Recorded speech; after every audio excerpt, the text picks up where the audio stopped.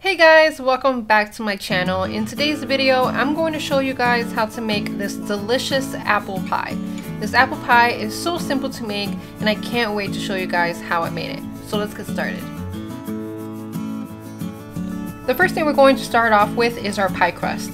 So in a medium-sized bowl, you're going to mix two and a quarter cups of all-purpose flour and a half a teaspoon of salt.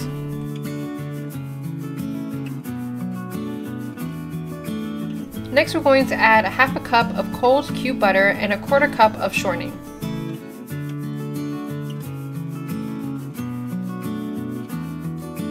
Next, using a fork or a pastry cutter like I'm using here, start to cut the butter and shortening into the flour until it starts to resemble coarse crumbs.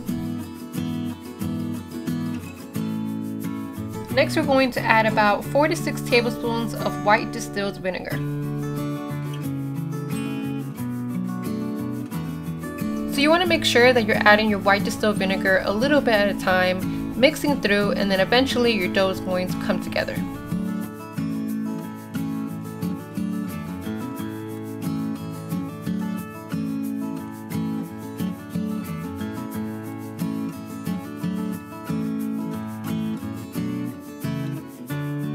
So now that our dough is the perfect consistency, we're going to wrap this up in plastic wrap and we're going to set it in the fridge for 15 minutes.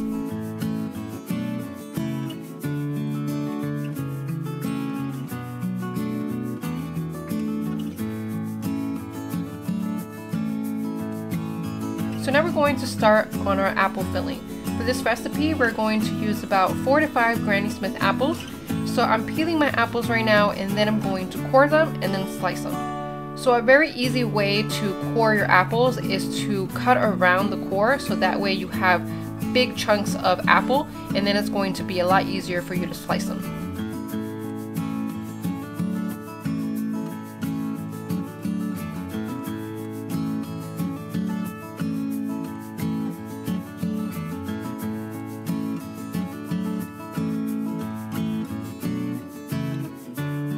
So now that the apples are nicely sliced, we're going to add one tablespoon of lemon juice so that way our apples won't turn brown.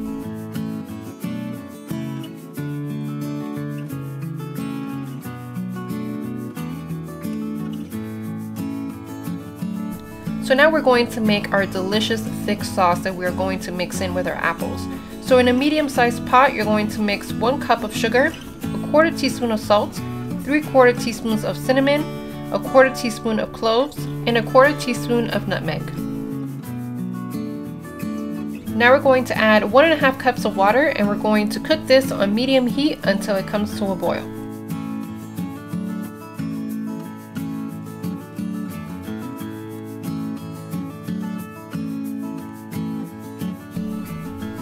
Once it comes to a boil, we're going to add our slurry. So I mix two and a half tablespoons of cornstarch with a little bit of water, so that way I don't get any lumps of cornstarch in my sauce.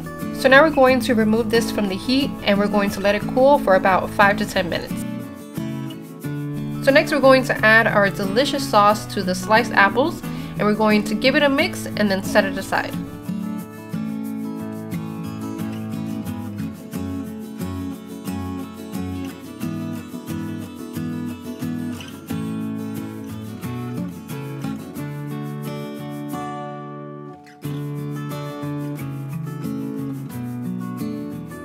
So now we're going to start to roll our pie crust. So first cut your dough in half and on a flour surface you're going to roll your dough. You want to make sure when rolling the dough that it's a little bit bigger than your pie pan.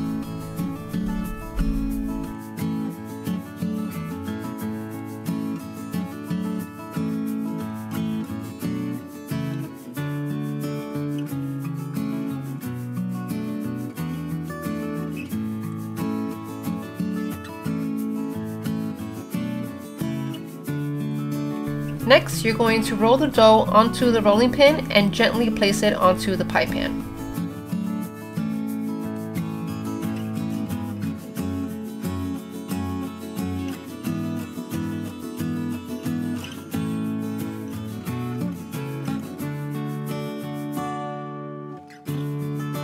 Next, you're going to press the dough against the pan gently and remove any excess dough around the edges.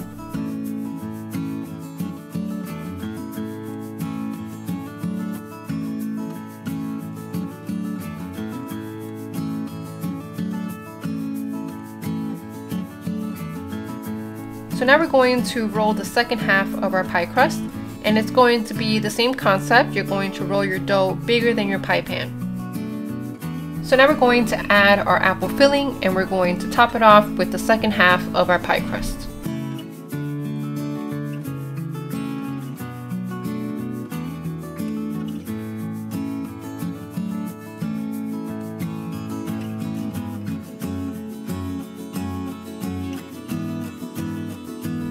Once you place the second half of your pie crust on top of your apple filling, you're going to tuck the excess dough around the pan.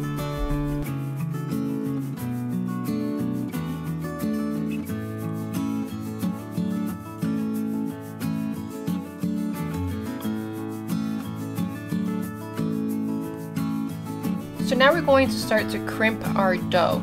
So you can either use a fork for this or you can do it the way that I'm doing it. I'm just using my thumb on one hand and then on the other I'm using my pointer finger and my thumb. That's the best way I can explain it. So the next thing we're going to do is we are going to actually cut some slits right in the center of our dough. And the reason for this is because we want to release some steam so that way our dough doesn't become soggy during the baking process. So next we're going to add our egg wash to our pie crust. So I just beat one egg and added a little bit of milk to it. And this is just going to help the pie crust get a really beautiful golden brown color. So finally, we are going to bake this at 365 degrees for 30 to 35 minutes. Alright guys, so I just took the apple pie out of the oven about 15 minutes ago. So it's still nice and warm.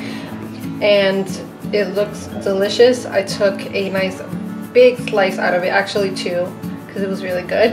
Or I'm gonna take a big bite and talk about the flavors and just tell you guys how it tastes. That makes me so happy. The only thing that this is missing is some ice cream or some whipped cream, but I don't have any. Mm. The filling, it's so delicious. It has tons of flavor didn't even use that many ingredients and it tastes really, really good. It's perfect. It's a perfect apple pie, really. So I definitely do recommend that you guys use white distilled vinegar for your pie crust because this pie crust is extra, extra flaky because of the white distilled vinegar. It definitely makes a difference. So you guys need to try this, this pie crust out. I hope you guys enjoyed this video. Don't forget to give this video a big thumbs up and don't forget to subscribe. Bye guys!